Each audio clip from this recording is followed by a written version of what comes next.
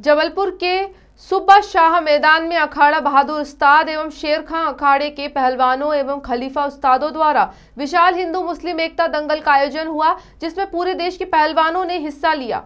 कार्यक्रम के मुख्य अतिथि कैबिनेट मंत्री एवं विधायक लखन घनगोरिया विधायक विनय सक्सेना उपस्थित हुए। उन्होंने पहलवानों को प्रोत्साहन राशि देकर उनका हौसला अफजाई किया।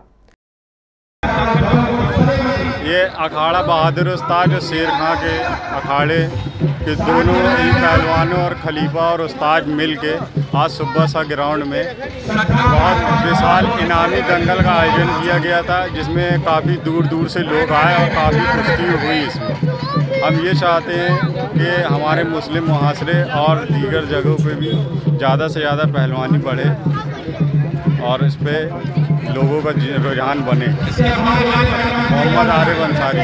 प्रिया जी ने बहुत ही इच्छा से आज की इस कुश्ती को देखा और अपना बहुत कीमती समय निकाल कर दो घंटा यहाँ पर वे उपस्थित थे और इस कला, इस मुजाहरे को और इस प्रतिभा का सम्मान करते रहे, देखते रहे।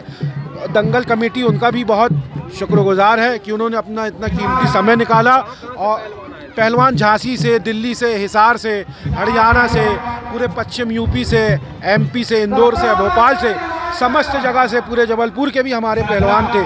सभी पहलवानों ने आके यहाँ पर अपना और हमारी बालिका पहलवान, हमारी बेटियाँ भी थी। और मैं ऐसी आशा करता हूँ कि ये हमारी पहलवानी एक नया आयाम स्तर करे अच्छे अच्छे पहलवान बने, ताकि हमारे भारत के लिए नेशनल खेलें और गोल्ड जीत के लाएँ। मोहम्मद यावर चौधरी, युवा कांग्रेस।